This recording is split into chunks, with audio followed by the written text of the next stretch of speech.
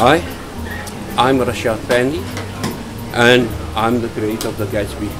My dad had a butcher shop in Athlone, but I was more into uh, uh, takeaways, and I asked my dad to set me up in this shop here next door. And I'm here since 1974. The, the Gatsby itself was created by accident.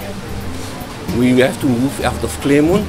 I bought a plot in Lansdowne, and it was during the day I was clearing the plot. I had four guys with me, and that evening when we came back to the shop, there was nothing left except chips, uh, polony, and some atchar. All I did, I heated up the chips, I heated up polony, and I put the atchar on top of it. I myself had a piece of it. The one guy, guy's name was Froggy. And he reckons to me, he said, Lani, this is a, a smash. It's a Gatsby smash.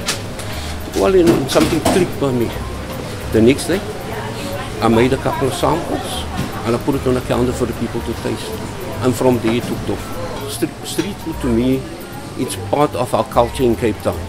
Everything evolves around our, our food. If you go to the beach or we go anywhere, we first plan where we're going to have something to eat or what we're taking with. For me, street foods must be organized properly and it must be set up properly.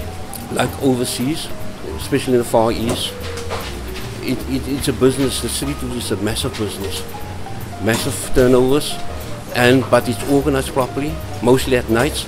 But it can be done in South Africa with a proper preparation and, and uh, training.